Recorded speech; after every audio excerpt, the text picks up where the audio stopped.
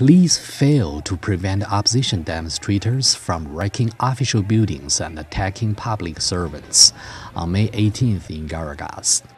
destrozaron el segundo y el tercer piso de la residencia Livia Guberner, arrojaron piedras, destrozaron la biblioteca, rociaron con gasolina a dos guardias patrimoniales para quemarlos vivos.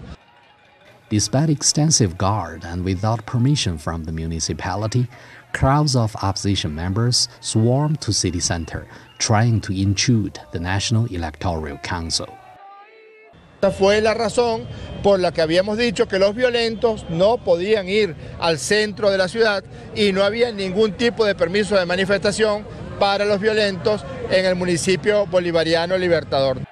The opposition force staged the protest mainly to urge the National Electoral Council to speed up its authorizing process of their referendum efforts to oust President Nicolas Maduro.